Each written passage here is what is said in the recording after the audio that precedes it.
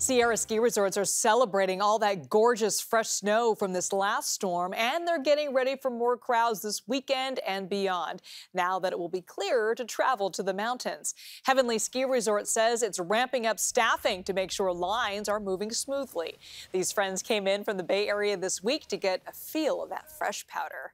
I feel like it covers up all the the gunk. It's not as compact, it's not as hard, and then you just you just have it's like more forgiving almost too. Just a better experience all around, I think, when you have fresh snow.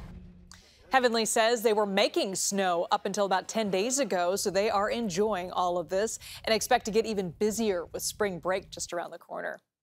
And today, Sugar Bowl announced it is extending its ski season by three weeks until April 28th. Now we know that blizzard dropped more than 100 inches of snow in some parts of California. Now, in just a span of just four days, ending the state's snow drought. But on the flip side, February was also the warmest February on record globally, and we're ready. We're already seeing signs of an early spring. In today's Project Earth, Kelsi Thorud explains just how the two of these are happening at the same time. It was a monster blizzard. We're trying to get out, but I think we're stuck here tonight. The storm slammed California with heavy snow, high winds, and treacherous whiteout conditions.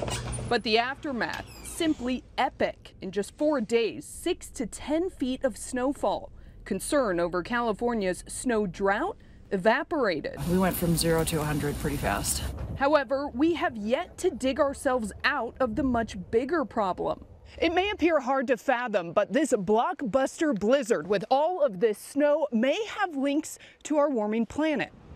Experts believe global warming may be supercharging some of our snowstorms while boosting the risk for a rapid snow melt. Climate change is really affecting the underlying set of possibilities for what the weather system is capable of doing. Andrew Jones is a climate scientist at the Lawrence Berkeley National Lab. His research involves hydroclimate extremes and snow dynamics in particular. This blizzard got his attention. This was a very interesting storm. A warming planet should mean less snow. But this was the Lollapalooza of snowstorms. It really does highlight this conundrum that we see climate change kind of causing two counteracting forces at the same time. With this blizzard, cold Arctic air made a beeline to California. On the way, it traveled over the warming Pacific Ocean, warming due in part to climate change. The higher temperatures in the ocean and the air allow the atmosphere to hold more water.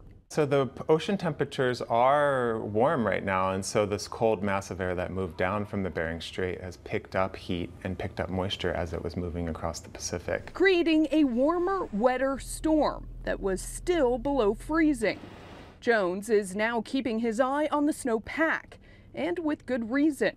February was the ninth straight month in a row to be the warmest on record globally. Because overall conditions are warmer, that snow might melt faster than usual. Jones is hopeful for new strategies that aim to capture excess water and direct it underground.